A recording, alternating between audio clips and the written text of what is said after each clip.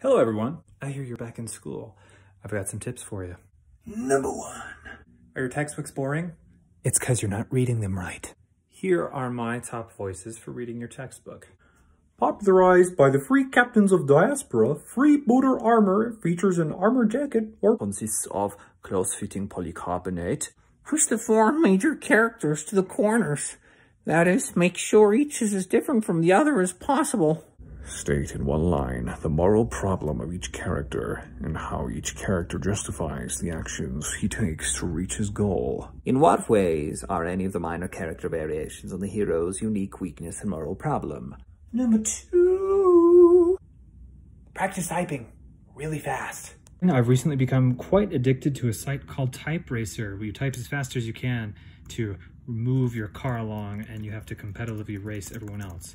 It, I can type a little faster when I don't have a guitar holding my phone up, but this is a good way to practice your typing speed competitively. No, I must win! Guitar, but look, I've win! Uh, fourth place, close enough. As for some quick typing tips, backspace deletes behind while the delete key deletes in front. For selecting, hold down shift and press the arrow keys.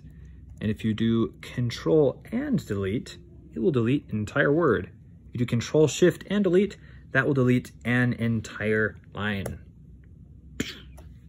Pretty neat. Tip number three, stop buying random crap at the dollar store. They get me so many times. Now with my lovely instruction, you're completely well equipped to ace this year of school. Don't ask for a refund.